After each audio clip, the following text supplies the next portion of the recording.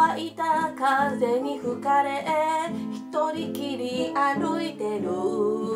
忘却の空へたどり着けるまで。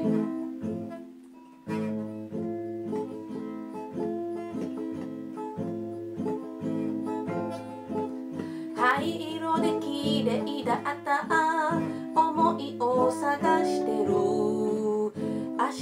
足跡消せないから苛立ち重ねたけど空白で素敵だった思いを探してる。僕だけのラプソディが手がかりでいつも繰り返しただけど塞いでいた。氷が溶けきいた後のストーリー胸に抱いている。だからベルベットの空の下歌う声は聞こえている。でたらめのダウナーかわしてる。